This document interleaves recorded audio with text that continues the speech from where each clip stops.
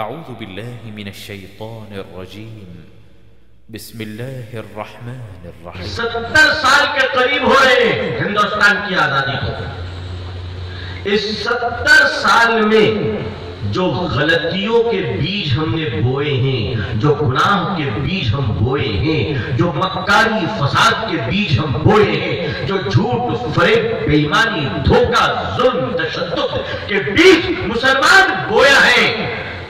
وہ ستر سالوں میں اس کے پیڑ نکل آئے ہیں۔ اب اس کے پھل تو تمہیں کاٹنے ہی پڑیں گے۔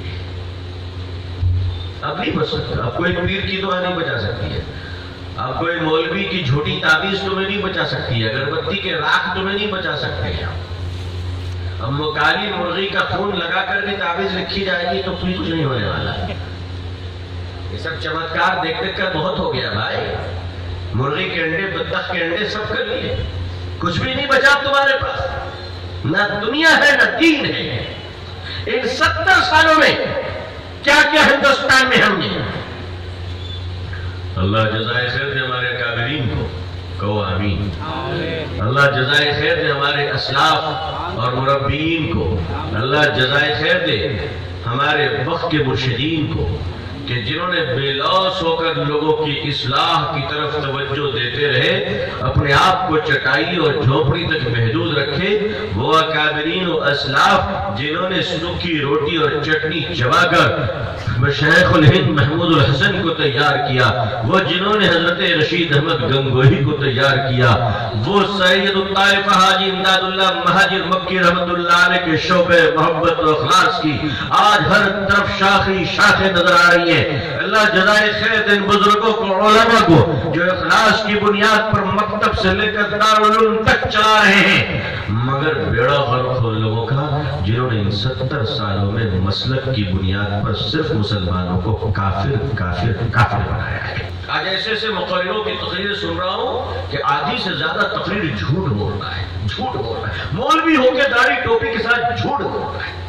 تقریروں میں جھوٹ بول رہا ہے۔ اپنی سواری عمری سنا رہا ہے۔ اپنا سفر نامہ سنا رہا ہے۔ ستر سالوں سے یہی حرکتیں ہو رہی ہیں ہماری طرف سے۔ مسلک کا تعاون دیوبندی بریلوی کا جھگڑا، اہل حدیث کا فساد۔ اور اس کے بعد اپنی اپنی تنظیم، اپنے اپنے بورڈ کا پریچے کروا رہے ستر سالوں سے ہم نے اپنا پریچے کروایا، اپنے بینر کا پریچے کروایا، اپنے بورڈ کا پریچے کروایا، اپنے گرو جی کا پریچے کروایا، اپنے شیخ کا پریچے کروایا، اپنی تنظیم، اپنے ادارے کا پریچے کروایا، اپنے مسلک کا پریچے کروایا۔ ارے ظالموں، اللہ کے دین کا تم نے پریچے کیوں نہیں کروایا؟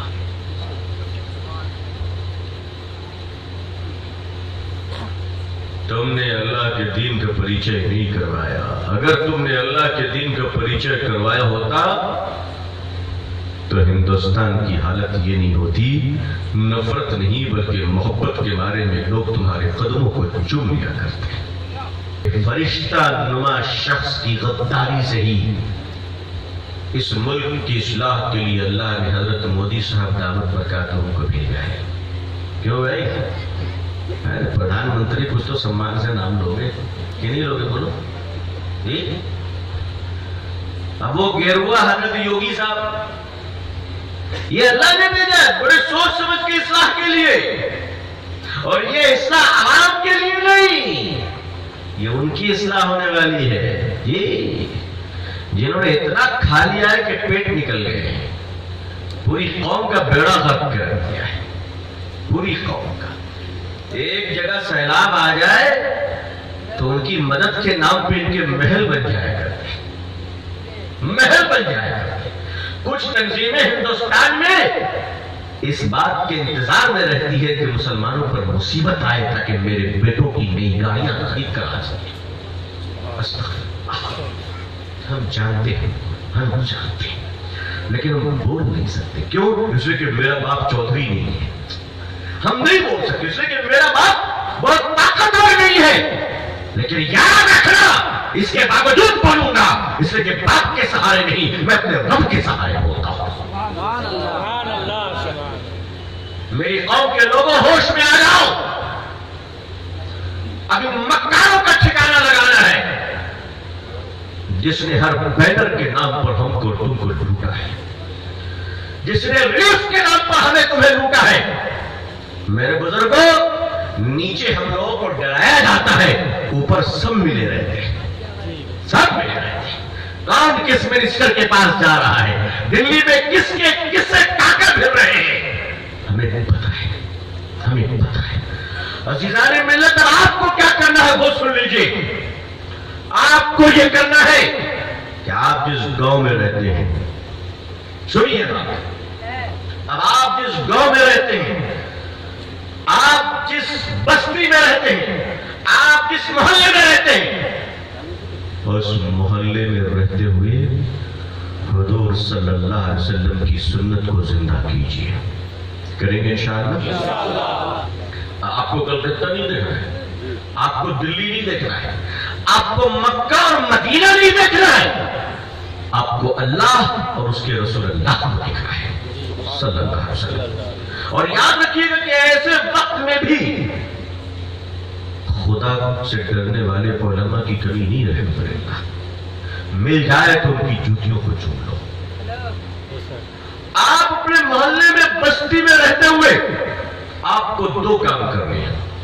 ایک کام یہ کرنا ہے کہ سینے سے اسلام کو لڑا کر رکھنا ہے۔ کہ انشاءاللہ۔ کیا کام کرنا ہے پہلا کام؟ پہلا کام؟ اسلام کو میری بہنوں آپ بھی سن لو۔ اپنے چھوٹے بچے کو جتنا آپ سینے سے چپکاتی ہو اس سے زیادہ اللہ کے دین کو چپکا دو انشاءاللہ۔ اور دوسرا کام یہ ہے کہ ضرورت اگر پڑ گئی تو جان دے کر بھی بھارت کو بچانا ہے۔ انشاءاللہ۔ نعرہ تکبیر۔ نعرہ تکبیر۔ ایمان کی حفاظت کرنی ہے اور دیش کی حفاظت کرنی ہے۔ ڈوکلام کے بارڈر چائنا سے لے کر اگر پاکستان کے آتنکواد تک کو، سے بھارت کو کبھی خطرہ ہو جائے، تو بتا دینا کہ اس بھارت کو بچانے کے لیے ٹوپی والے سر ابھی بھی کٹنے کو تیار ہے یہ دو پالیسی آپ کو بنانی ہے۔ دو پالیسی دیکھیں آپ پالیسی سمجھ لو۔ اگر آپ پالیسی کو نہیں اپنائے، تو ستر سال تک آپ پولیٹیکل پارٹی کے چمچے بن کر رہے ہو۔ آگے بھی تمہاری نسلیں انہی پولیٹیکل پارٹیوں کی جوتیاں پہنچتی رہیں گی۔ مسلمانوں، میں تمہیں صاف صاف بتلا دوں۔ ہندوستان کی جتنی پولیٹیکل پارٹی ہے، جتنی پولیٹیکل پارٹی وہ سب پارٹی تم کو ایم پی بنا سکتی ہے، ایم ایل اے بنا سکتی ہے، منسٹر بنا سکتی ہے، مگر یاد رکھنا تم کو کبھی بھی اس دیش میں لیڈر بننے کی اجازت نہیں دی جائے گی۔ تمہارا کام ہوگا اپنی قوم کو لوٹنا۔ تمہارا کام ہوگا پولیٹیکل پارٹی کو خوش کرنے کے لیے اپنی مسجدوں کو توڑنا۔ تمہارا کام ہوگا پولیٹیکل پارٹی کی چمچا گیری کرنے کے لیے اپنے محلے میں فتنہ پیدا کرنا، میاں بیوی میں طلاق کروانا، دو بھائیوں میں لڑوانا ڈالنا۔ جس کام کے لیے تمہیں پولیٹکس میں رکھا جاتا ہے، مسلمانوں کعبہ کرو اور کہو کہو، ہندوستان کی پارٹیوں کو ووٹ دیں گے۔ ایمان کا سودا نہیں کریں گے تمہارا جس کو دل چاہے تم اس کو ووٹ دو۔ کیونکہ یہ ہندوستان کی پارٹیاں۔ تم کو اپنا جمائی بنا سکتی ہے، بھارت کا نیتا کبھی نہیں بنا سکتی کبھی تم ان سے بیٹی مانگو گے، وہ بیٹی دے دیں گے۔ مگر پارٹی کی لیڈرشپ تمہیں کبھی نہیں دی جائے گی۔ تمہیں کوئی پارٹی نہیں کرنی ہے۔ تمہیں خاموش رہنا ہے، دیش کی سیوا کرنا ہے۔ اور دیش کی سیوا سے زیادہ مسلمانوں، اب تمہیں جو سب سے بڑا کام کرنا ہے، وہ یہ ہے کہ مانوتا کی سیوا کرنی ہے، انشاءاللہ۔ کیوں؟ اگر تمہیں بچنا ہے تو۔ ورنہ یاد بیٹھو۔ آج دوسروں سے بچانے کے لیے جو تمہیں سہارا دیں گے، وہ بھی کل تم سے اپنی غلامی کروائیں گے۔ نہیں کرو گے تو وہ بھی تمہاری گردن کو کاٹیں گے۔ جی ہاں یہ بتا کر جا رہا ہوں، اچھی طرح سن لو آپ۔ اچھی طرح سن لیجیے آپ۔ آپ کو کرنا یہ ہے مانوتا کا وہ سیوا انسانیت کی وہ خدمت ہیومن سروس جسے ہم لوگوں نے بھلا دیا ہے۔ جسے ہم لوگوں نے فراموش کر دیا ہے۔ دوبارہ اگر اس کو زندہ کرو گے تو انشاءاللہ تمہاری اولاد ہندوستان میں زندہ رہیں گی۔ اور اگر خدمت کو تم نے بھلا دیا تو خطرہ ہے کہ آنے والے پچیس تیس سالوں کے بعد شاید آج کے چھوٹے چھوٹے بچے کل مسلمان بھی رہیں گے کہ نہیں رہیں گے یہ ڈاؤٹ ہے مجھے۔